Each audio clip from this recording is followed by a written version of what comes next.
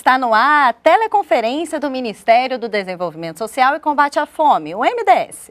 Hoje falaremos sobre o trabalho social com famílias indígenas no SUAS, o Sistema Único de Assistência Social.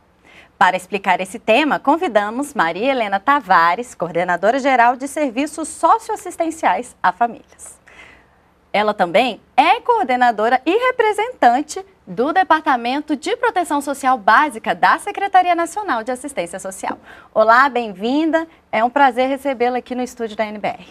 Lília, o prazer é nosso, porque essa temática é fundamental para a gente discutir, refletir né, a questão do trabalho junto à população indígena. Então, o prazer é do MDS, é do Departamento de Proteção Social Básica.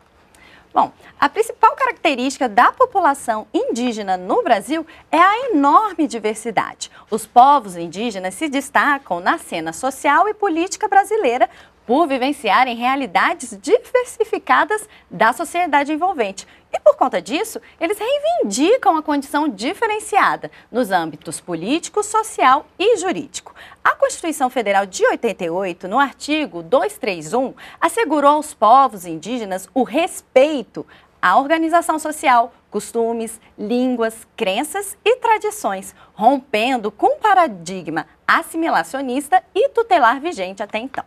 Bom, em vista disso, Maria, é, como implementar a política, uma política universal, como a política de assistência social, dando a devida atenção aos, às especificidades étnicas né, existentes no território brasileiro?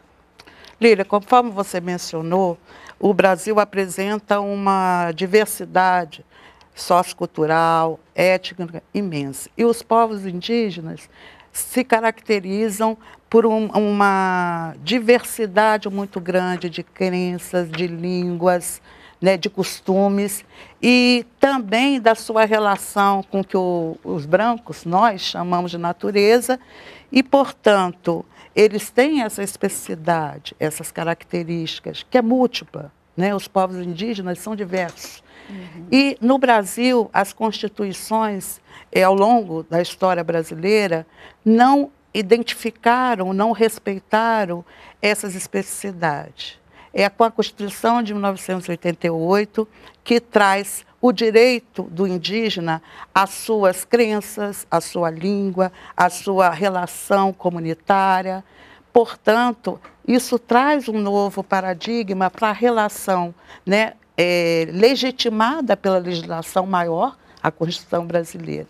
Nesse sentido, é, a política de assistência social, que ao longo de sua trajetória, da sua organização, é, tratou de segmentos vulneráveis, né, como as pessoas mais pobres, a, as pessoas com deficiência, tem a partir da Constituição de 88 e quando é organizada a política pública de assistência social, a responsabilidade também de olhar para as vulnerabilidades dos povos indígenas. Né?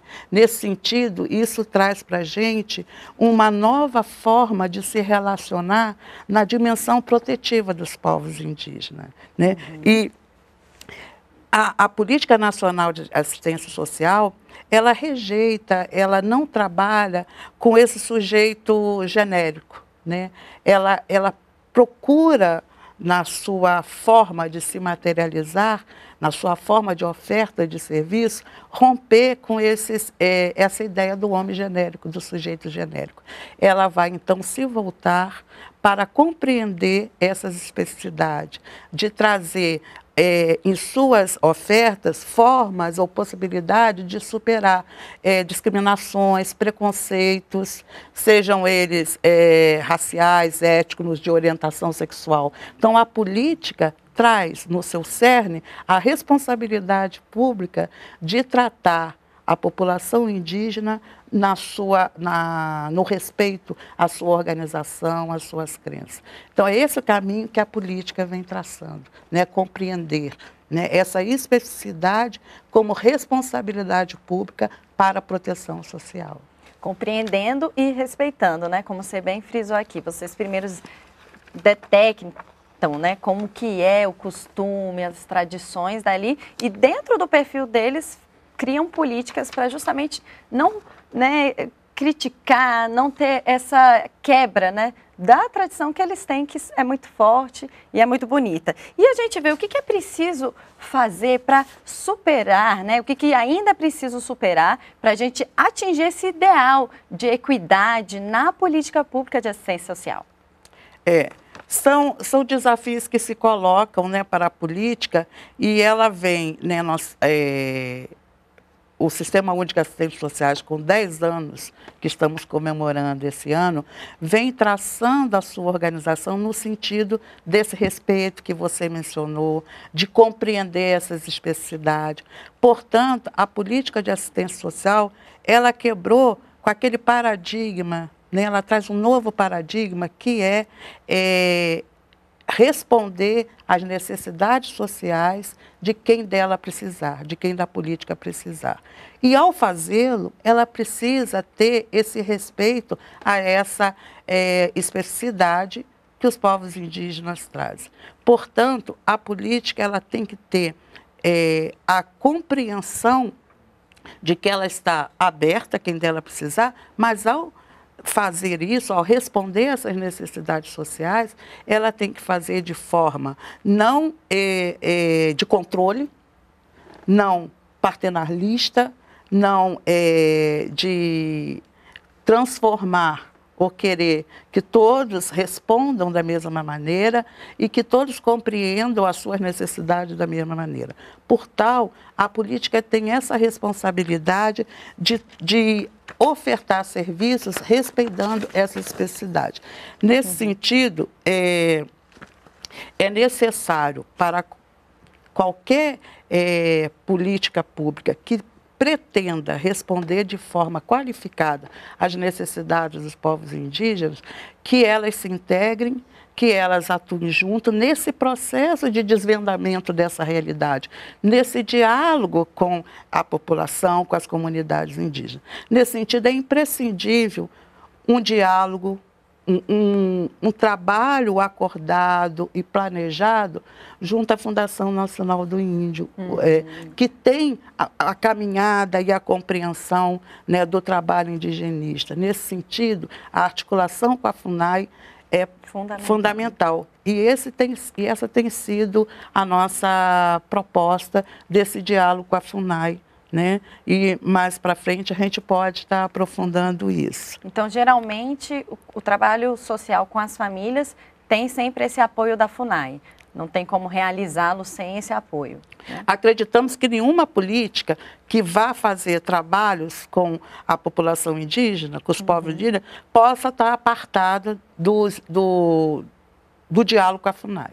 E a política de assistência não sufurta isso. Nós temos cada vez mais tentado aprofundar esse diálogo no sentido de que a assistência possa compreender né, o que a FUNAI já acumulou, o que a FUNAI tem, tem de, de expertise no trato com povos indígenas. Então, a gente está aprofundando cada vez mais esse diálogo com a FUNAI. Bom, e você que nos assiste pode participar desta teleconferência pelos telefones 0 operadora 61 3799 5859 ou 3799 5198, pelo e-mail tele@mds.gov.br e ainda pelo Twitter, arroba MDS Comunicação, sem cedilha e sem tio. As perguntas serão respondidas por nossos convidados no último bloco. Participe! A sua contribuição é muito importante. Bom, continuando a nossa conversa, Maria, quais são as iniciativas adotadas pela Secretaria Nacional de Assistência Social nessa temática indígena? É, inicialmente, é, o SUAS, no seu processo de consolidação e implantação, ele buscou a universalização.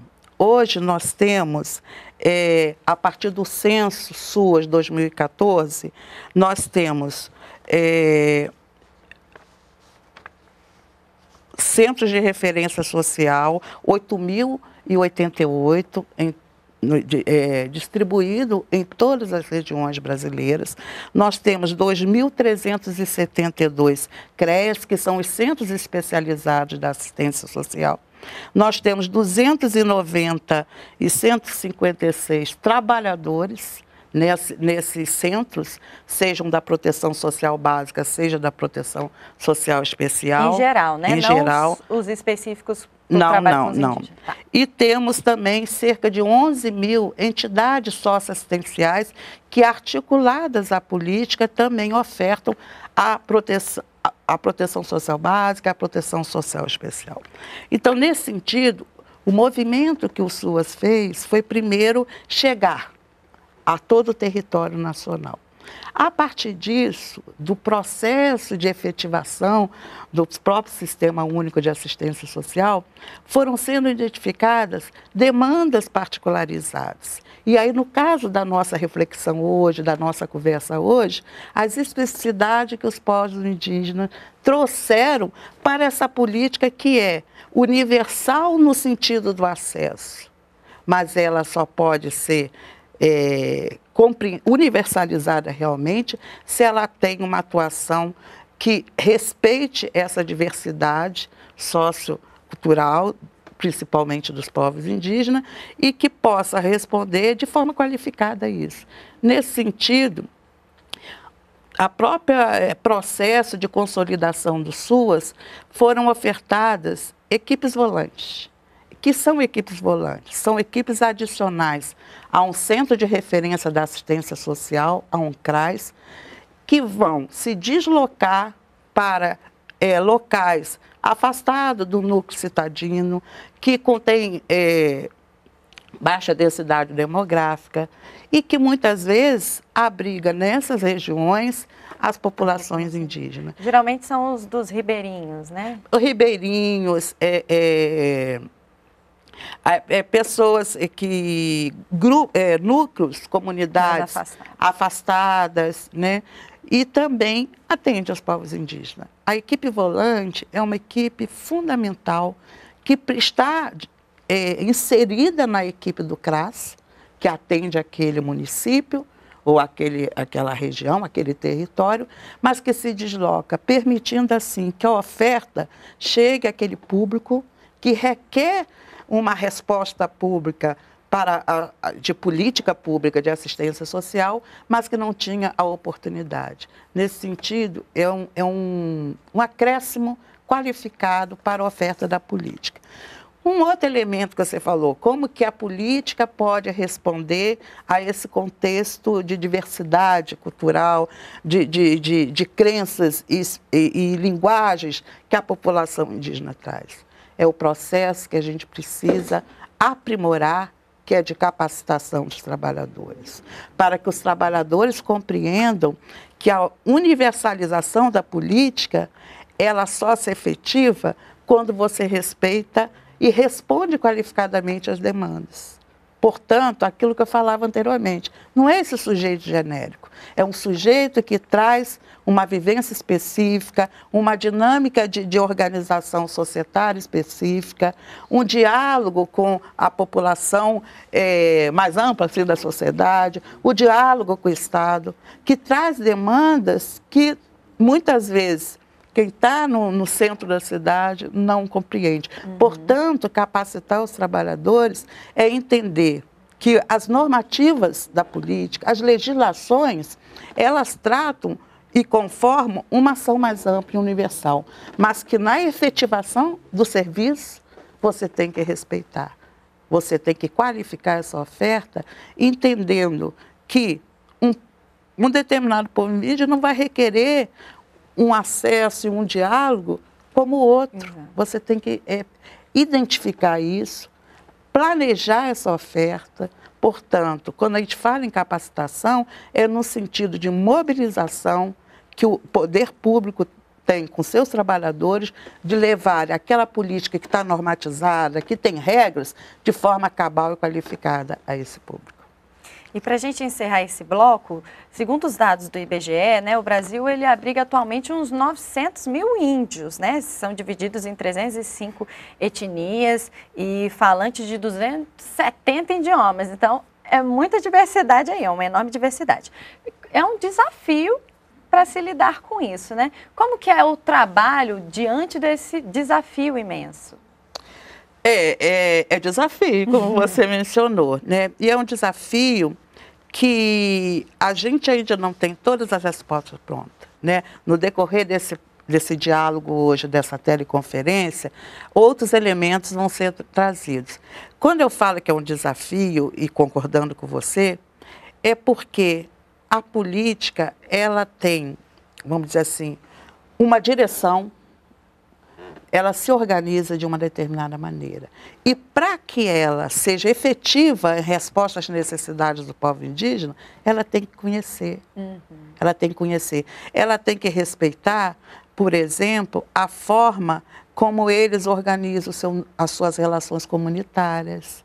Né?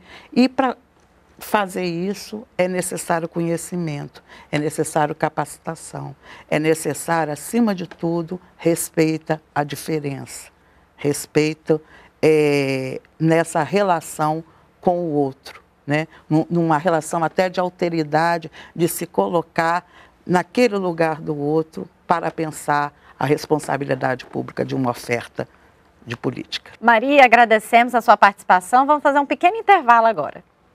No próximo bloco, vamos receber as técnicas Aline e Paula, também da Coordenação de Serviços Socioassistenciais a Famílias. A gente volta em seguida, até já!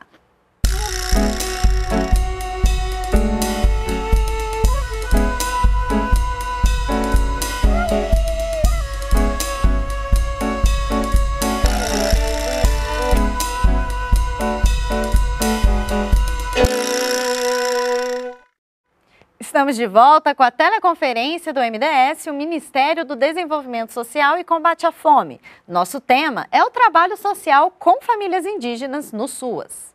Neste segundo bloco, contamos com a presença de Aline Guedes e Paula Lima, técnicas da Coordenação Geral de Serviços Socioassistenciais a Famílias. Olá, sejam bem-vindas. Obrigada por aqui estarem.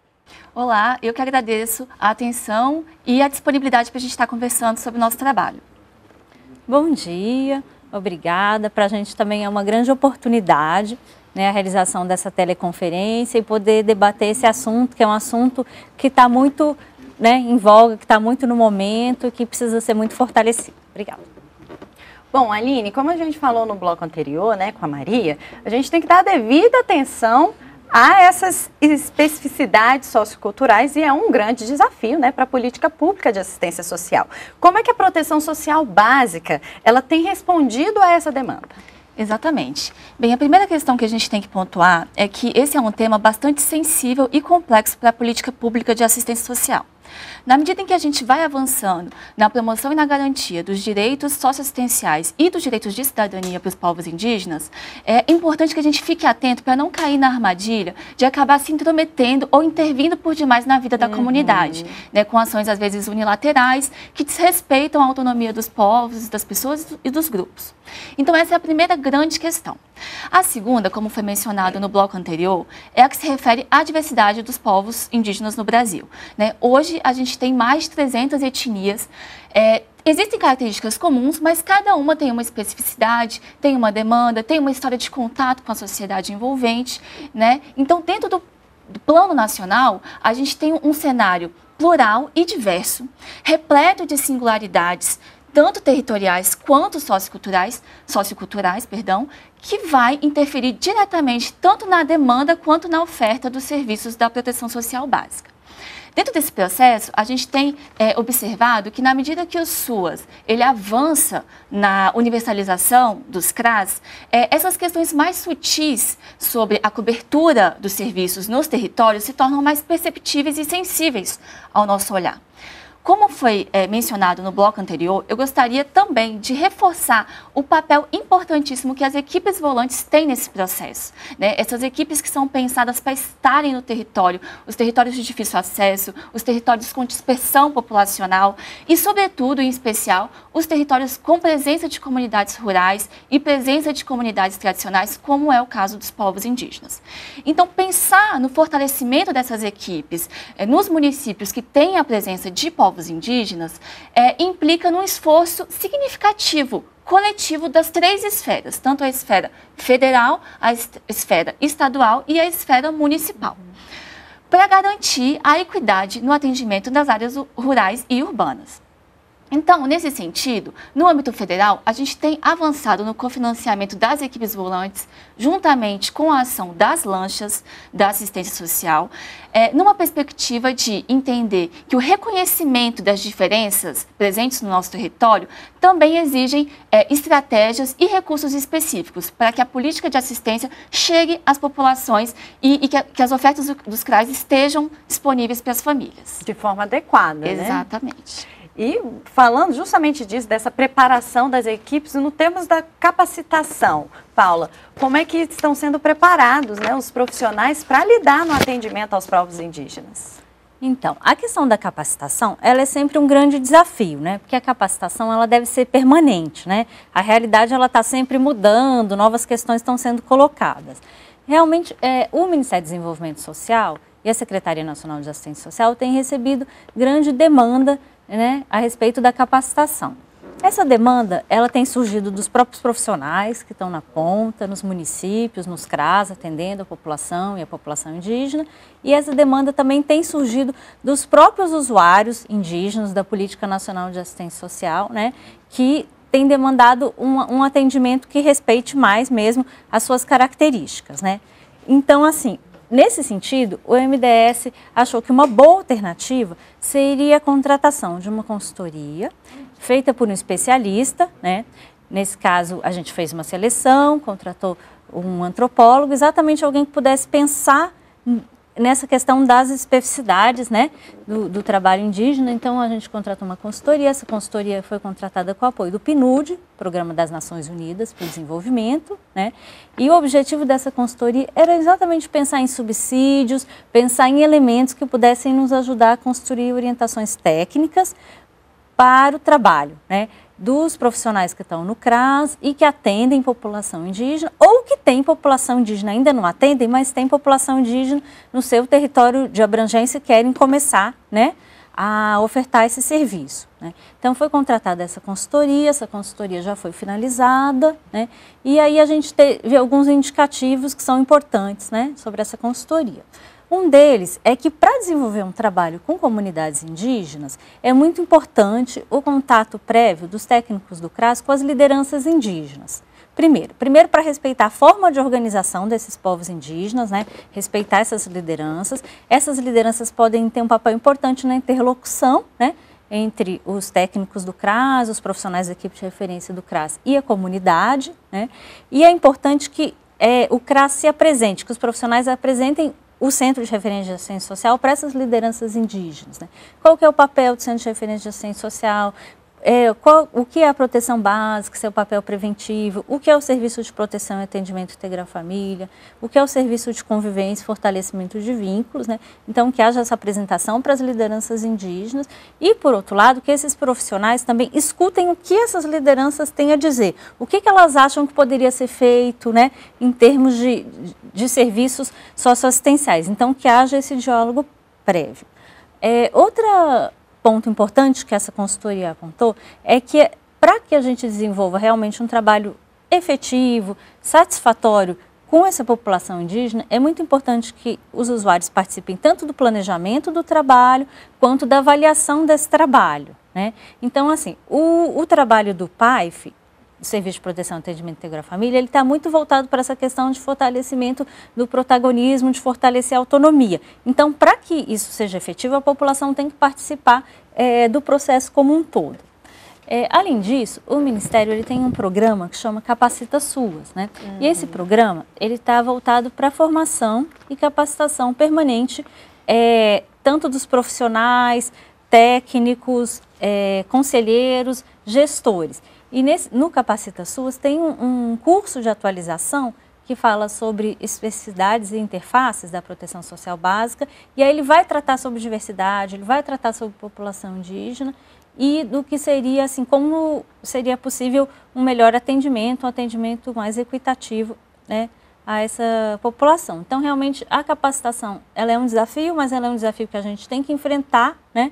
E, e é muito importante realmente o envolvimento de todos os parceiros, do Estado, do município que está executando, o compromisso da gestão municipal com essa capacitação, né, dos seus servidores, dos seus funcionários e o papel do MDS, que é responsável por emanar essas diretrizes técnicas do serviço e essa capacitação, ela é em um local específico ou é via internet? Como é que é? Olha, existem várias formas de capacitação. Uhum. Nós consideramos que também, por exemplo, a teleconferência, ela é uma forma de, de capacitação uhum. e os profissionais têm nos dado bom retorno, dizendo que enfim, que é um instrumento útil, que às vezes eles pegam, por exemplo, conteúdo de uma teleconferência e fazem né, essa discussão num, numa reunião semanal, né, no, no trabalho. Existe, e a, e a, capacitação, existe a capacitação presencial, que em geral ela é fornecida principalmente pelos estados aos municípios, existe a capacitação por cursos online, do Capacita Suas, né, então existem várias é, modalidades de capacitação.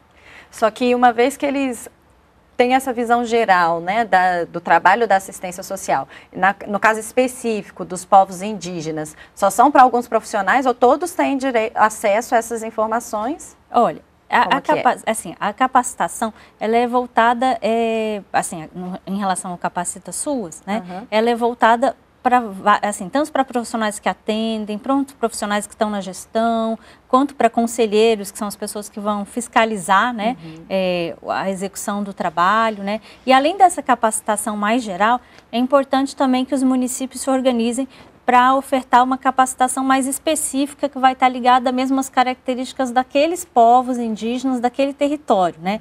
Então é muito importante que é, que a gestão se, se articule, se organize para trazer, por exemplo, um indigenista, um antropólogo para realizar essa capacitação, que haja articulação com universidades, né, que, que dispõem uhum. desses profissionais, cientistas sociais, antropólogos, sociólogos e demais especialistas na questão indígena. Então, a gente tem a capacitação mais geral e a capacitação também mais específica para aquela realidade do dia a dia do município que a gente também não teria como prever, né? Porque, enfim, envolve um, uma, um trabalho mais, vamos dizer, aprofundado, né? E sabemos que nenhuma política ela dispõe nessa, dessa totalidade de competência e de recursos necessários à garantia dos direitos das famílias em situação de vulnerabilidade social. E no caso das famílias indígenas, Aline? Pois é, justamente. A gente tem salientado no âmbito da coordenação e do âmbito do Departamento de Proteção Social Básica que nenhuma política dá conta da totalidade de questões presentes num território. É, então, é muito importante fortalecer a articulação intersetorial e em rede, né? Uh, para enfrentar as vulnerabilidades sociais e os riscos que incidem sobre uma população. Isso porque a realidade social, ah, as ações é, que ela exige não se esgotam no âmbito de uma única política ou de um único saber. E essa questão para a população indígena, ela é muito importante, porque a gente ainda tem é, uma concepção de que a, as famílias indígenas e as comunidades indígenas devem ser atendidas somente pela FUNAI. E isso não é verdade. Né? é, tirando, excetuando o caso de povos isolados, né, no geral, o que nós temos é que as instituições e as políticas, no âmbito de sua atuação, têm a responsabilidade de promover um atendimento qualificado às famílias indígenas ou não indígenas. Então, nessa é, ideia, né, a partir desse contexto, a gente vem articulando a nossa parceria com a FUNAI. Né, a FUNAI tem sido uma grande parceira no processo de amadurecimento da política pública de assistência social no atendimento dos povos indígenas. Nós firmamos, é, no ano de 2013, um acordo de cooperação técnica com a FUNAI, com o objetivo de estabelecer uma cooperação entre os dois órgãos, né, entre a SNS e o órgão indigenista, para promover ah, o planejamento, a execução e o monitoramento de ações indigenistas dentro da política nacional de assistência social, né, nos seus serviços, nos seus programas e nos benefícios ofertados aos povos indígenas. E sempre na perspectiva de garantir o respeito às, às especificidades socioculturais e à diversidade é, presente no nosso território. É, além disso, é importante também frisar que quando a gente fala ações indigenistas no âmbito da política de assistência, é, a gente está querendo dizer que todos os, os órgãos né, e instituições que lidam direto ou indiretamente com a população indígena devem se responsabilizar por um atendimento qualificado a essa população. É, isso é uma articulação intersetorial que a gente tem feito com a FUNAI. Mas internamente, a gente também tem aquecido essa demanda. É, a gente constituiu no grupo, na SNS um grupo de trabalho composto por uma equipe multidisciplinar. Então, nós temos antropólogos, sociólogos, assistentes sociais, né, Paula, cientistas políticos, psicólogos, uhum. né, todos no, né, empenhados né, para aquecer a agenda dentro da SNS e pactuar uma agenda de diálogo permanente sobre a política pública de assistência para os povos indígenas. Uhum. E como que o trabalho do Centro de Referência de Assistência Social, né, o CRAS, ele pode contribuir para mudar essas situações de conflito, de preconceito contra os povos indígenas? Certo. Bom, é, sobre essa questão, a primeira coisa que eu queria chamar a atenção é porque a gente tem chamado hoje de preconceito institucional. Né? Uhum. A gente tem recebido é, contatos né, de, de, indígenas, a gente soube por meio dessa pesquisa de campo que foi realizada né, por meio do, do nosso consultor Júlio, é que vários indígenas eles têm sentido preconceito no atendimento né, do serviço, sejam esses serviços de educação, de saúde e os próprios serviços da assistência social. Né? Então, que a primeira questão quando a gente fala de preconceito, na verdade, o técnico tem que se ater também a, aos seus próprios preconceitos. Né? O ser humano ele tem preconceito em relação a várias questões. Mas quando a gente está fazendo o atendimento e a gente já está atendendo uma população que pode estar em situação vulnerável, a gente precisa ficar mais atento ainda a essa questão do, do, do preconceito, da forma de receber esse usuário. Porque é muito importante que o usuário indígena, quando ele chega no centro de referência de assistência social, ele se sinta acolhido, ele se sinta bem naquele lugar. Que uhum. o centro de referência de assistência social, como o próprio nome diz, possa ser uma referência. Ou seja, um local que o usuário né, pode contar com ele em termos de serviço. Então, a primeira questão que a gente queria ressaltar é essa questão de trabalhar e discutir, refletir sobre a possibilidade mesmo do próprio preconceito institucional, como que esse usuário indígena está sendo atendido, recebido no CRAS. Né? Essa é a primeira questão. Bom, é, o CRAS, ele faz um trabalho é, que a gente chama um trabalho da proteção básica. Uhum. E assim ele tem uma vertente preventiva, uma vertente proativa e uma vertente protetiva. Né? Essa vertente preventiva é exatamente no sentido de prevenir que algumas ocorrências no território elas aconteçam ou que elas é, se multipliquem, se agravem. Uma situação que é uma vulnerabilidade, ela possa se tornar um risco. Em termos proativos, né, é, é essa questão de você tentar antecipar alguns problemas. Né? Então, se já existe uma possibilidade de conflito, tentar é, minimizar essa, esse conflito, né, essa possibilidade. E a questão protetiva é o trabalho do CRAS é, tentando com que é, a, a, família, assim, o trabalho do CRAS apoie essa família na sua função protetiva. É, o, o, Centro de Referência de Assistência Social ele oferece várias, várias atividades no âmbito do serviço de proteção e atendimento integral a famílias. Né? Uma das atividades são as palestras. As hum. palestras elas são exatamente para dar um, é, para um público maior e para dar uma visão geral sobre o tema. Né? Então essa questão, é, por exemplo, o que são os povos indígenas, suas características, é, sua, sua, história, seus valores, cultura, seus direitos. Isso pode ser debatido em, em, palestras, né? E podem ser convidados, inclusive, lideranças, pessoas importantes da comunidade indígena para falar sobre esse tema. Né? Aí, esses temas das palestras, eles podem ser a, é, aprofundados em oficinas com famílias, né? E essas oficinas com famílias são momentos onde esses temas que foram debatidos, por exemplo, numa palestra, eles podem ser aprofundados, né? E esses usuários indígenas, por exemplo, podem discutir seus direitos, podem discutir questões como autoestima, como, né? Como eles podem enfrentar esse preconceito, né? Do qual eles são vítimas, né? Outra estratégia que pode ser usado é a estratégia de campanhas, né? O CRAS pode fazer campanhas socioeducativas, né? E para essas campanhas eles podem, é, eles podem inclusive convocar, convidar outros outros atores, né, podem convidar a FUNAI, organizações indigenistas, universidades, né, a proteção social especial, que são os CREAS, o Centro de Referência Especializado de Assistência Social, que atende a população quando está em situação de violação de direito. Enfim, fazer uma grande articulação do sistema de garantias de direito, né, e fazer uma campanha, né, para colocar exatamente os indígenas como sujeitos de direitos, né? Como pessoas, assim, os, os, indígenas têm direitos, esses direitos estão é, garantidos na Constituição Federal, esses direitos estão garantidos em vários acordos internacionais, né? Que o, que o Brasil assinou, então os indígenas têm direito, têm, têm direito a uma forma específica de organização social, cultural, econômica, né? Então isso, tudo pode ser trazido para uma campanha, né? O CRAS, muitas vezes ele oferece, ou é referencial do CRAS, o serviço de convivência e fortalecimento de vínculos. O SCFV, né? É, exatamente. E aí, por exemplo, é, o, o Júlio Consultor, ele encontrou uma experiência que a gente achou muito interessante em um, um dado município, que foi exatamente o intercâmbio, né?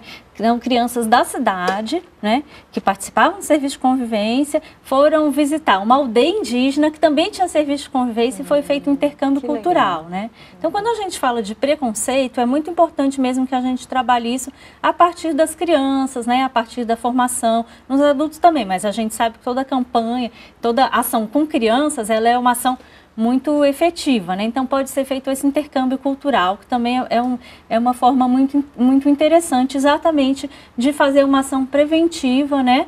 De, de médio e longo prazo.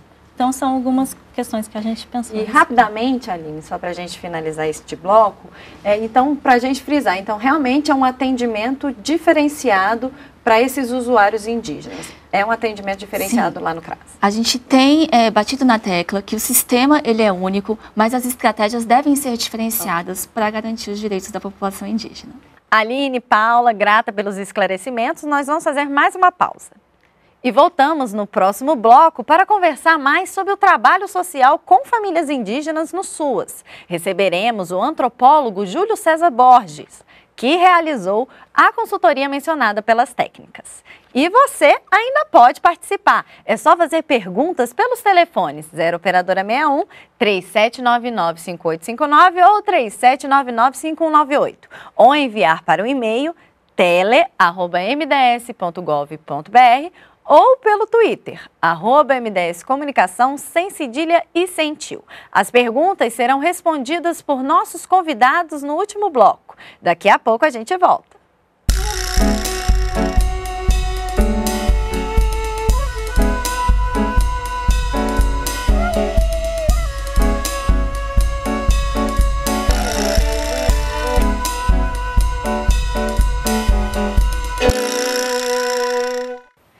Estamos de volta com a teleconferência do MDS. O tema de hoje é o trabalho social com famílias indígenas no SUAS, o Sistema Único de Assistência Social.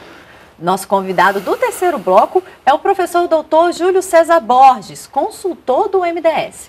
Olá, bem-vindo ao nosso programa. Olá, tudo bem?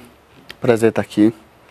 Bom, Júlio, é, como foi mencionado no bloco anterior, você prestou uma consultoria, visitou municípios com povos indígenas, né, justamente para conhecer, coletar dados, com como é feito né, esse trabalho social com os povos indígenas nas cinco grandes regiões do país. Então, fale um pouco para a gente sobre essa sua experiência. Isso. É, já faz uh, alguns anos o MDS vem, vem empreendendo esforços para é, construir né, justamente como foi mencionado no bloco anterior, estratégias para que essa população ela seja é, melhor atendida né, nos diversos, é, nas diversas regiões do país. Mas até é, recentemente não havia né, é, um conhecimento mais sistemático sobre as diferentes estratégias que de fato vêm sendo implementadas né, nos municípios brasileiros junto a essa população. Daí justamente a contratação dessa consultoria para que né, eu pudesse, né, eu enquanto consultor selecionado nesse processo, pudesse visitar alguns municípios que foram escolhidos pelo fato de terem é, famílias indígenas na sua, no seu território de abrangência em diferentes contextos né, e relacionamentos né, é, é, é diferenciados com a população não indígena né, nessas localidades. Então eu fui conhecer né, essas, é, essas estratégias, né, as estratégias de oferta desse trabalho social, para que na, na sequência do, do, da minha consultoria né, eu tivesse elementos para propor né, uma publicação na forma de é, um caderno com orientações técnicas para as equipes que vêm trabalhando com as famílias indígenas. Então, daí eu fui a São Paulo, né, é, município de São Paulo. Lá eu conheci a experiência do CRAS Pirituba, que é um CRAS é, localizado né, numa região que tem no seu território de abrangência uh, uma comunidade indígena da etnia Guarani, Guarani-Mbiá. Depois é, de conhecer essa experiência, que é de um contexto metropolitano, de uma grande cidade, né, de uma metrópole né, na região sudeste, eu fui conhecer uma outra realidade também de uma cidade grande, né, que é Porto Alegre, onde eu conheci a experiência de trabalho do CRAS Lomba do Pinheiro, que trabalha com famílias de três etnias dentro de Porto Alegre, é, famílias Guarani-Mbiá, é, Caingangue e da, de uma etnia que reapareceu no cenário é, interétnico brasileiro recentemente, que são os charrua, né, que inclusive é, são estritamente ligados à identidade gaúcha. Depois eu fui para o município de Dourados, Mato Grosso do Sul, conheci a experiência, aí sim, de um CRAS indígena que trabalha dentro da terra indígena, a terra indígena é, Dourados, a reserva de Dourados, com os Guarani é, Kaiowá. E depois fui a um município vizinho, que é Carapó, para conhecer também a experiência de um outro CRAS indígena que trabalha com as famílias que vivem dentro da reserva indígena ali de Carapó. Na sequência, eu fui para Manaus. Em Manaus, eu conheci o trabalho do CRAS Redenção, que trabalha com os índios Saterê Mauê dentro de Manaus, ou seja, aí já é novamente contexto urbano, né, mas agora na região norte, né, de grande presença indígena. De Manaus, eu fui para São Gabriel da Cachoeira, conhecer o trabalho do CRAS Casa da Família, que é direcionado a todas as etnias do Alto Rio Negro. É um trabalho extremamente difícil ali, né, por conta do, da extensão do território, a organização. Acessibilidade também. É, o, justamente o acesso às famílias, né, às comunidades, né, que é só por via fluvial e, e tem comunidades que estão na, nas fronteiras, né, bem distantes da sede do município, né, nas fronteiras né, com Venezuela, Colômbia, Peru. Então, um trabalho bem desafiador, bem foi bem importante conhecer essa experiência. E de lá eu fui para o município de Prado, na Bahia, conhecer o trabalho social que é desenvolvido ali é, junto aos indígenas Pataxó. Isso né? durou quanto tempo? Em torno de uns 50 dias. Uhum. Ou seja, indo de um lugar para o outro, conhecendo e já anotando, né, anota, registrando, fazendo um trabalho, trabalho de coleta de dados, né? não era pura e simplesmente né, saber dar um oi, né, uhum, assim, oi, aí, como vocês, não, era um, um trabalho de registro de, de dados. Vivência, né, junto à comunidade, né.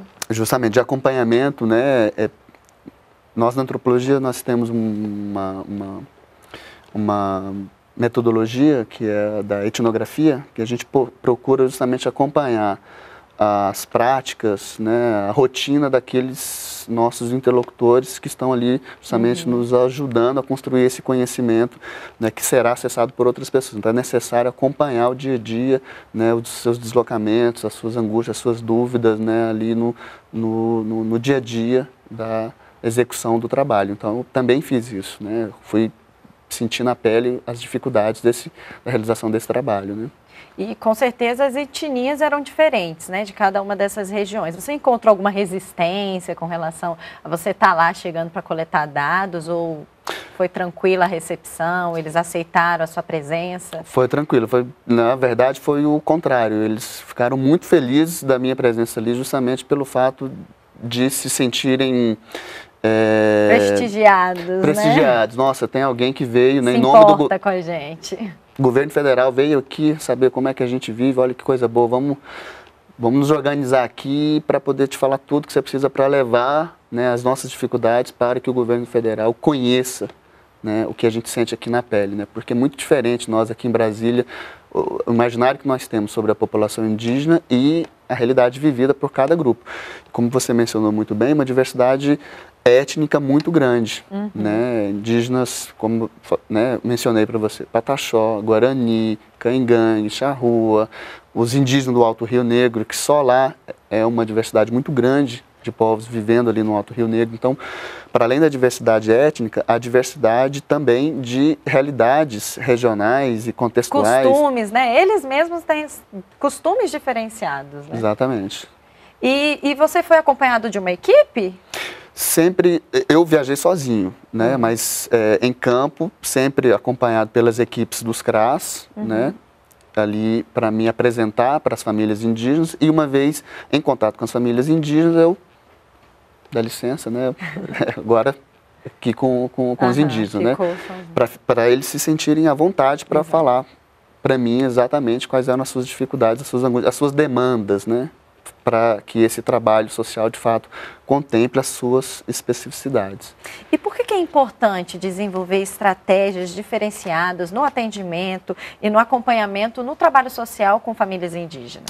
Ele, porque o Brasil, para começar, o Brasil é, é, é, signatário, como foi mencionado no, no bloco anterior, de vários tratados internacionais que resguardam os direitos dos povos indígenas. Então, para mencionar o mais importante deles, que é a Convenção número 169 da Organização Internacional do Trabalho, uhum.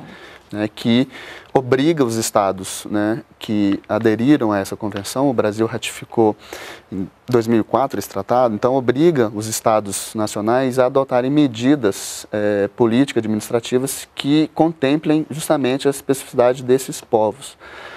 Em 2007, né, o Brasil, como membro pleno das Nações Unidas, o Brasil assinou, né, junto com outras centenas de nações, a Declaração Universal dos Direitos dos Povos Indígenas, que vai nessa mesma direção. Reforça o que já está na Convenção número 69 e ressalta a importância dos Estados nacionais é, e também as, as, as, sociedades que vivem dentro desses Estados nacionais respeitarem os povos indígenas na, né, nas suas relações cotidianas e na concepção e implementação de políticas.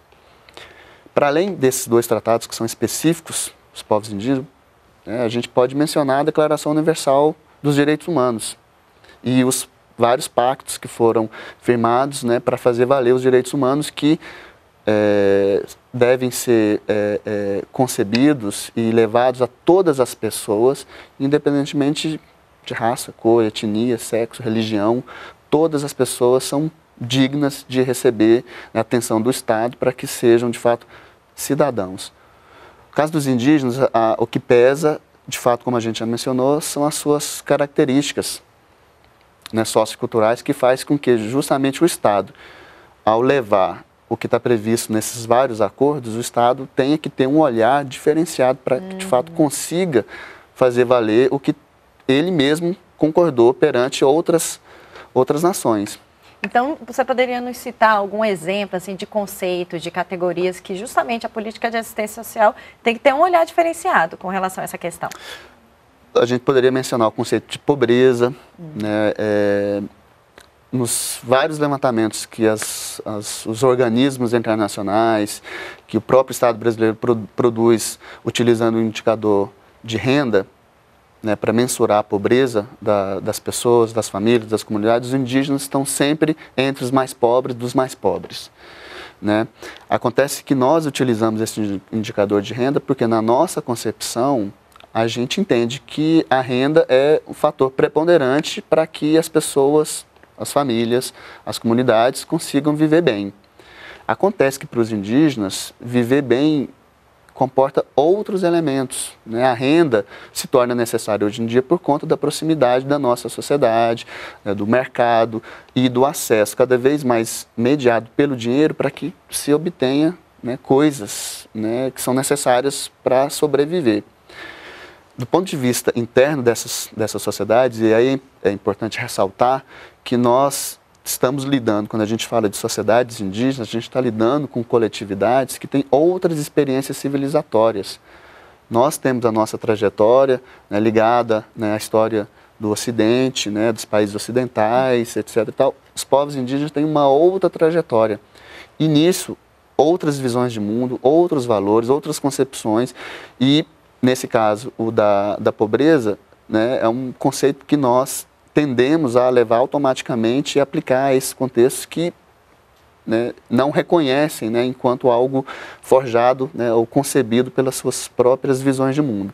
Poderíamos mencionar, devemos mencionar também o conceito de, de organização social e de parentesco. Né, nós tendemos a olhar é, para a família elementar, né, formada pai, mãe e filhos, né, como sendo alvo das políticas, mas nessas comunidades, a família, essa família elementar, ela é necessariamente vinculada a outras famílias, formando aí famílias extensas que têm justamente aí nos seus múltiplos vínculos, justamente a circulação de, de, dessas coisas que a gente acabou de falar, que são necessárias ao bem viver, que faz com que eu saiba que se na minha família elementar ali estiver faltando algo, eu posso contar com outra família que com certeza terá né, algo a me oferecer para que naquele momento de, de, de, de uma eventual dificuldade, por exemplo, sair para caçar e não obtive sucesso na caça.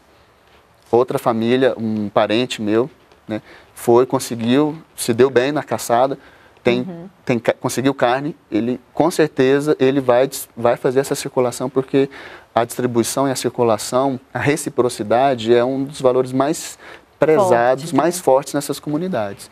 E nisso também o cuidado das crianças, né? A gente é, tende a achar, né, por um olhar apressado e preconceituoso, que as famílias indígenas, em alguns lugares, né, é, não sabem cuidar das suas crianças porque elas ficam soltas ali, né, não tem ninguém olhando, mas é, na verdade, primeiro, elas estão já aprendendo de pequenininhas a serem seres autônomos, cuidando de si e umas das outras. Em segundo lugar, que é, eu estou olhando, eu enquanto adulto, estou olhando as minhas crianças e estou olhando as crianças filhas de outras famílias também. E na comunidade, todo mundo cuida das suas crianças, porque esse é outro valor. As crianças têm um lugar lá de suma importância.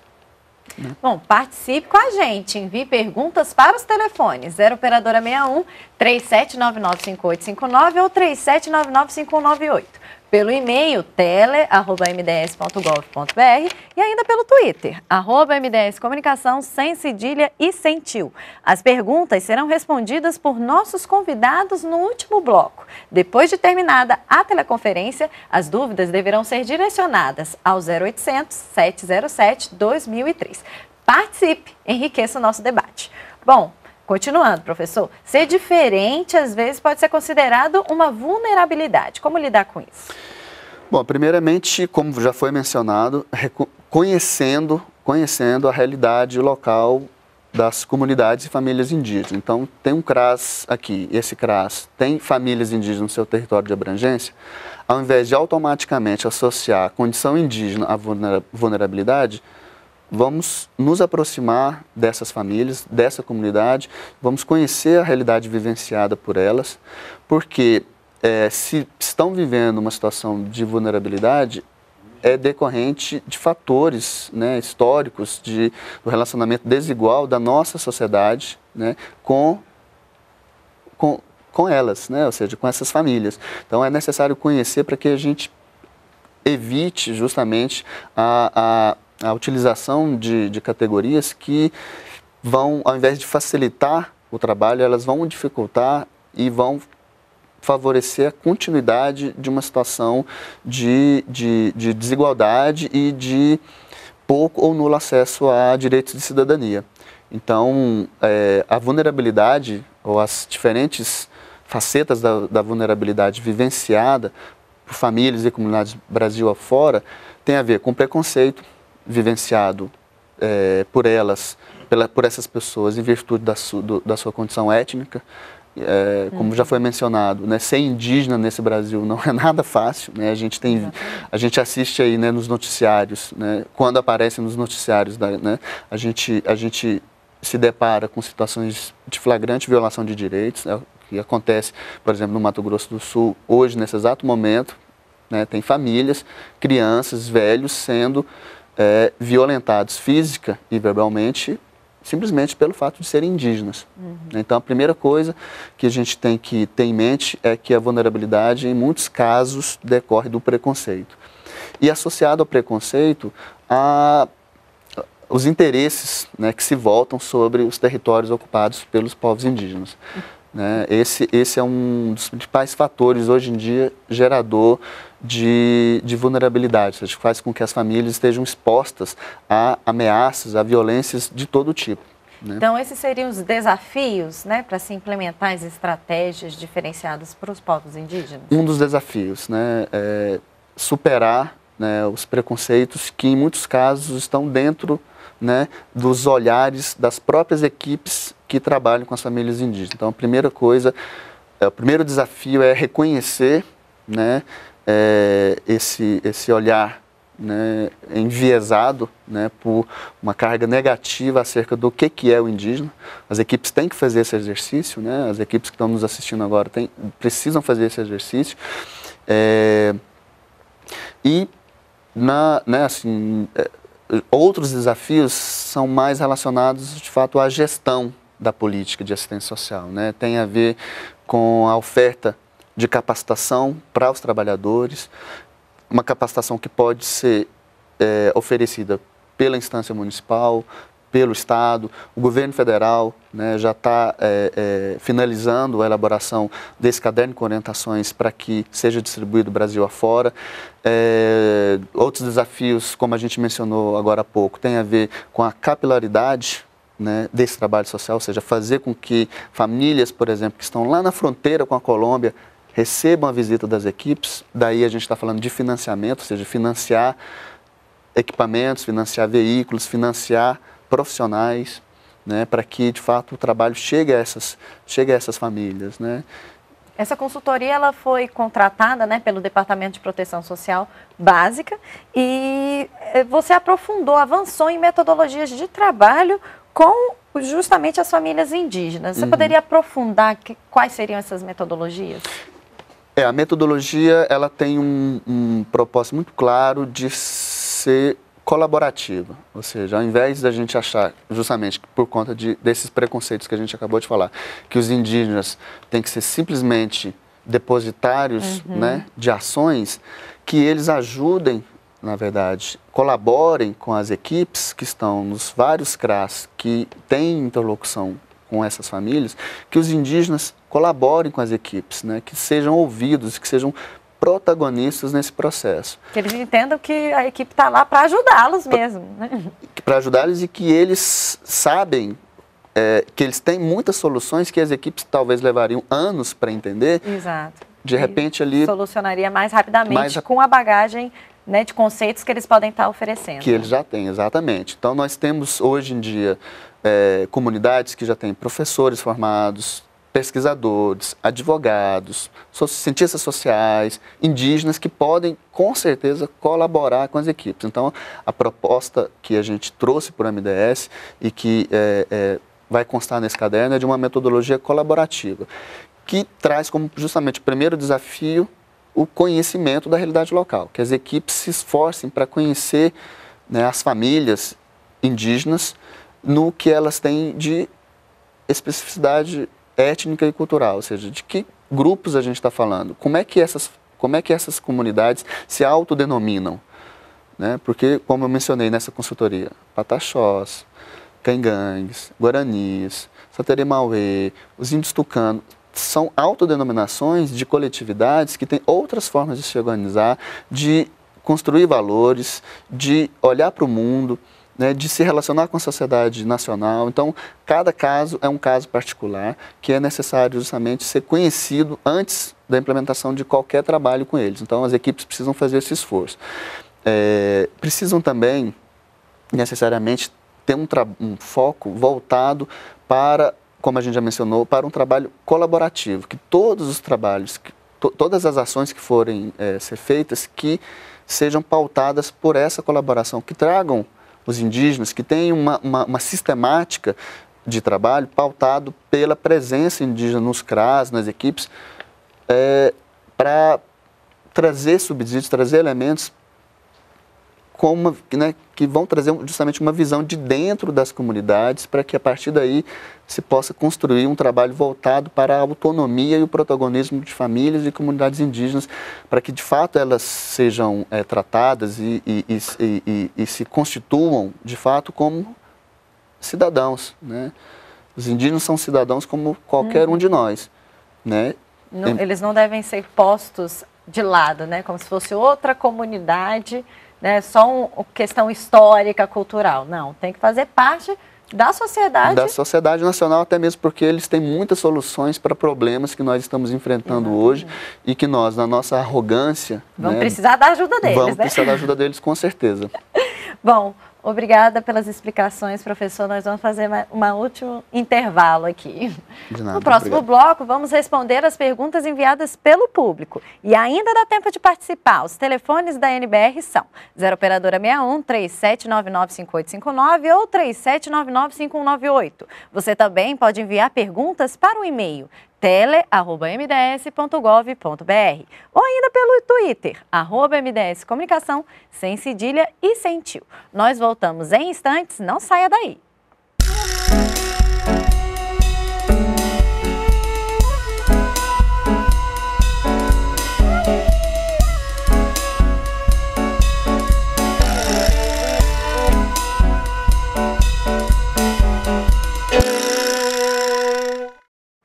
Voltamos com a teleconferência do Ministério do Desenvolvimento Social e Combate à Fome.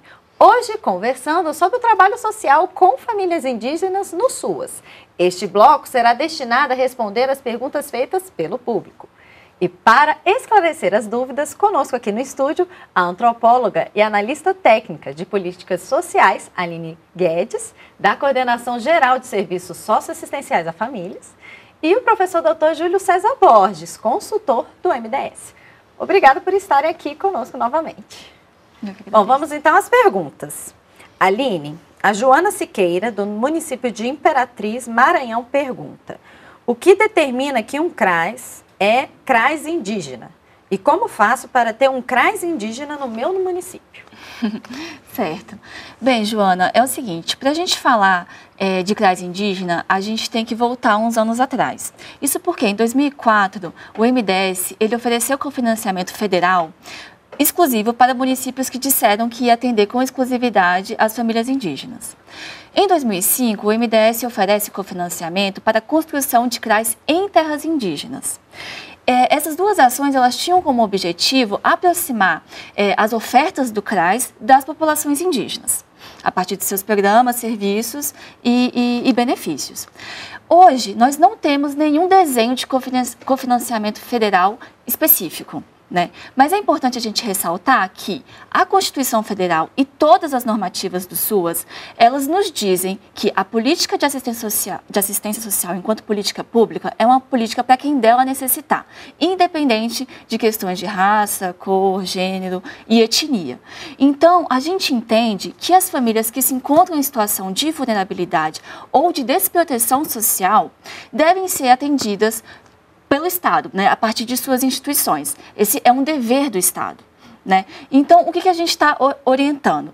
É que, sendo caracterizada essa situação de vulnerabilidade numa família indígena, é, a, o CRAS deve é, comunicar, é, entrar em contato com as lideranças, com a família, com a comunidade, com o órgão indigenista, né, no sentido de fazer essa metodologia colaborativa, né, é, o CRAS também, de, o CRAS e a gestão né, de assistência social deve atentar para ter uma assessoria antropológica, para ter profissionais indígenas dentro do seu corpo profissional, né?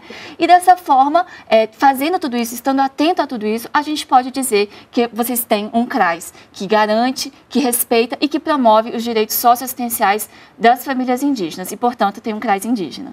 Então, e é importante uma dúvida, né? Dentro dessa equipe que vai fazer o trabalho social com as famílias indígenas, ter um especialista na área né, da, do, do, caso de indígenas? Sim, a gente tem... Ter até mesmo um indígena lá? Sim, sim. A gente tem salientado que, inclusive, é, a assessoria antropológica é muito importante. É, os profissionais compondo né, o corpo né, de, de, de, de, funcionários do CRAS vão fazer diferença significativa no atendimento a essas famílias, porque são eles que conhecem, são eles que, que estão ali vivendo no dia a dia né, o cotidiano uh, das questões impostas pela realidade social.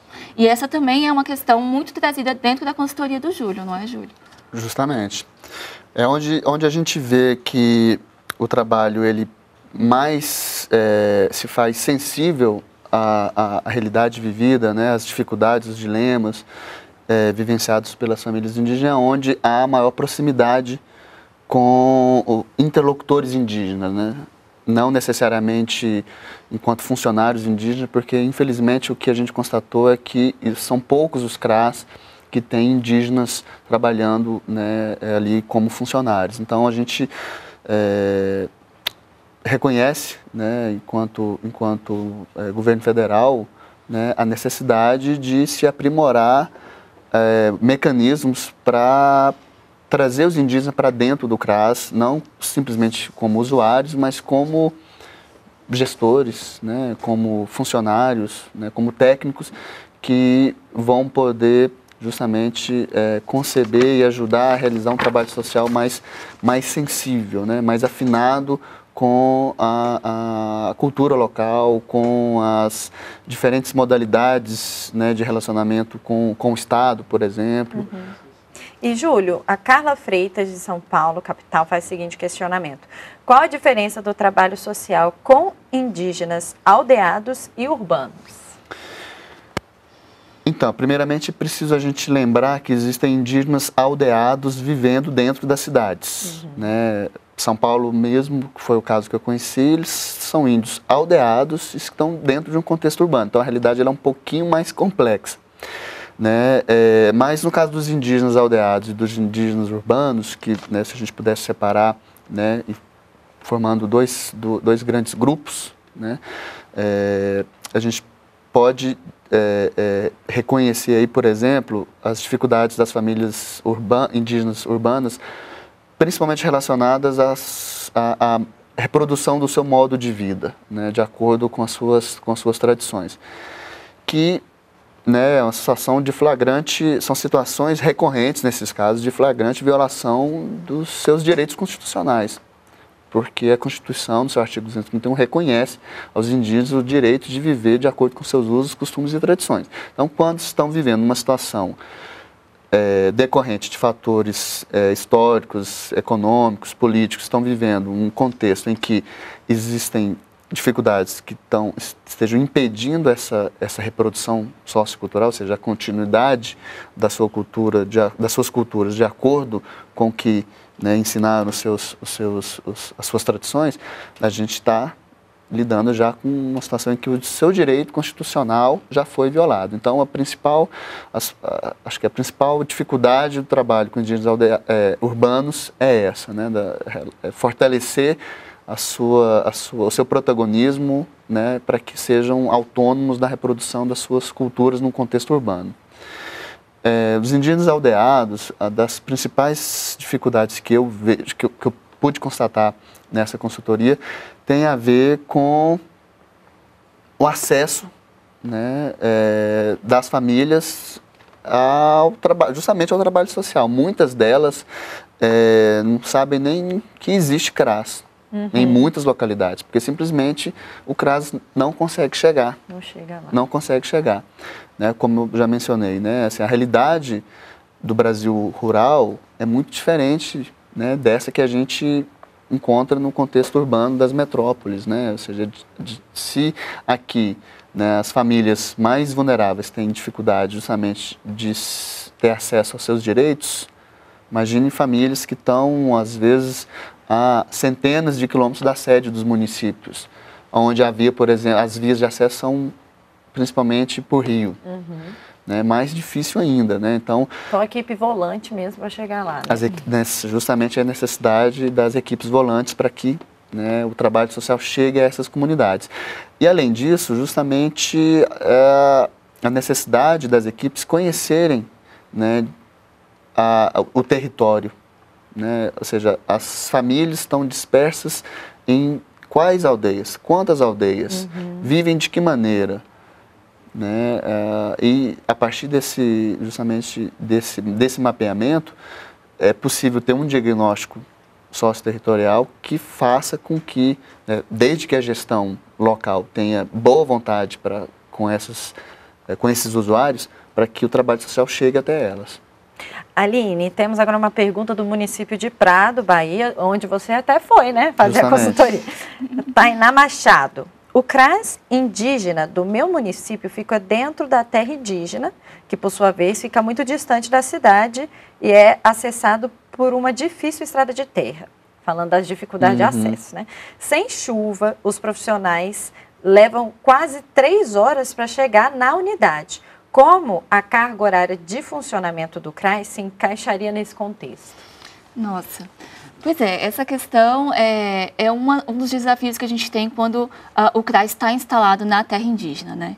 E as nossas orientações, elas dizem o seguinte, que é muito importante, nesse contexto, que a equipe do CRAS deixe bem claro para as famílias e para a comunidade como que se dará a sua presença dentro da aldeia, né? Deixando claro quais vão ser os horários de atendimento, quais vão ser os horários de, de acompanhamento e como que vai ser o retorno uh, da equipe à cidade e que eh, potencialidades, que aquisições essa, essa equipe eh, traz de novo consigo quando retorna à aldeia né?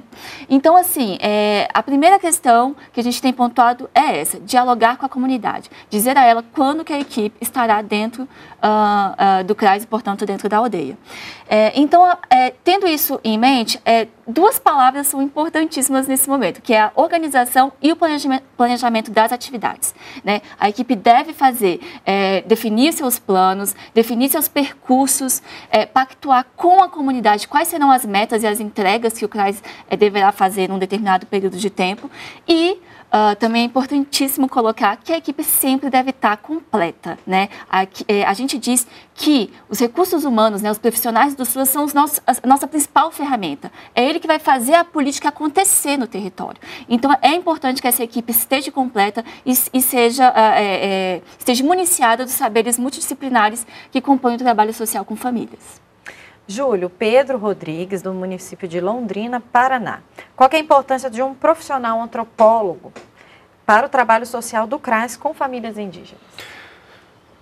Uma, a importância central, né, que eu vejo, é, por conta do fato de ser o profissional que recebe um treinamento né, ao longo da sua formação que é, faz com que nós, antropólogos, né, sejamos é, capazes de fazer a leitura de realidades é, vivenciadas pelas pessoas em função da sua, da sua cultura, né? Ou seja, a gente é, consegue é, compreender significados, motivações, é, estruturas sociais, justamente pelo fato de termos passado por uma formação acadêmica que nos dá ferramentas conceituais e metodológicas para ter essa visão né, mais, mais, mais sensível e teoricamente embasada para compreender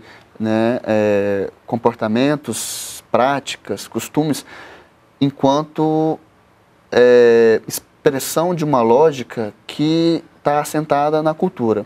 E a cultura, ela né, é, é algo que vai variar de lugar para lugar, dando justamente sentidos diferentes para cada localidade, né, para que os seus membros, os membros de cada comunidade, né, vejam é, é, como, o que, o que fazer, como fazer, né, o, o, horário de fazer certas coisas. Então, tudo isso é a cultura que informa. Então, nós recebemos esse treinamento né, através de uma formação demorada, né? Só, num, só de formação em nível de graduação são quatro anos, né? depois mais dois anos de mestrado, depois né, mais quatro anos de doutorado. Então são dez anos de estudo, né, em alguns casos, em outros menos, mas enfim, é, nós temos essa formação para que né, sejamos, sejamos capazes de favorecer o que alguns teóricos chamam de fusão de horizontes, né? ou seja, que os horizontes dessas comunidades né, se encontrem com os horizontes da nossa civilização, para que aí a gente construa um trabalho justamente pautado na colaboração. Tão importante quanto ter um antropólogo na equipe, vamos ressaltar mais uma vez, é ter os indígenas ali presentes, né, não simplesmente como usuários, mas como colaboradores aí, né, de preferência como funcionários, né, assalariados ali dentro da equipe, para que haja uma permanente presença deles ali, orientando né, e, e, e sensibilizando no dia a dia né, os seus colegas de trabalho na, nas equipes. E quem sabe a gente um dia tem um indígena ou uma indígena falando aqui na teleconferência Não sobre é? trabalho social. Bem lembrado, gente. Bem lembrado. E por fim, para a gente encerrar, Aline, a Olívia Pereira, do município de Antônio João, Mato Grosso do Sul. O CRAS, ele deve atender famílias indígenas que estão em situação de retomada? Certo. Bem, Olivia, é, a gente sabe que a questão, o direito à terra, é uma das principais bandeiras de reivindicação dos povos indígenas no Brasil. Né? E apesar de ser um direito é, ratificado pela Constituição Federal, a gente ainda tem uh, muitos grupos nesse contexto de retomada e de luta pelos seus territórios tradicionais. É, bem, no, nos nossos cadernos de orientação, a gente diz expressamente que famílias que estão em situação de conflito fundiário são público alvo do serviço PAIF, né, que é o principal serviço uhum. do CRAS. Então, a gente entende que sim, que ah, os CRAS e os CREAS, né, as unidades da assistência como um todo, devem estar atentos a esse contexto.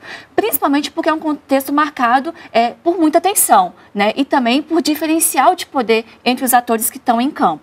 Então é importante que a equipe esteja atenta, até porque podem existir membros da família em situação de vulnerabilidade extrema, né, precisando de benefícios é, eventuais, precisando uh, eventualmente de um cadastramento e de uma atenção realmente mais uh, próxima da equipe de assistência. E para a gente realmente pontuar o fim. É, Aline, para ter acesso aos programas sociais do governo, né, os indígenas, é pelo CadSUAS? Eles se cadastram no, no CadSUAS ou não? É no, no, no CAD único, né? O, ah, o CAD único. único. exatamente. Ok. Justamente. Bom, Aline, Júlio, muito obrigada pela participação de vocês mais uma vez. Muito obrigada. A gente que agradece e né, só para finalizar, uma última palavra aí, é, conclamar né, os trabalhadores aí do SUAS a, a se engajar né, no, nos esforços aí que o MDS está aqui né, expressando, de levar o trabalho social para as famílias indígenas que é, são, é, além de usuárias, são cidadãs e têm justamente o direito de receber né, a atenção da assistência social. Bom, o Ministério do Desenvolvimento Social e Combate à Fome agradece a sua audiência e a parceria com a NBR. Nós ficamos por aqui, lembrando que as dúvidas podem ser esclarecidas pela Central de Relacionamento do MDS no telefone 0800 707 2003. Até a próxima!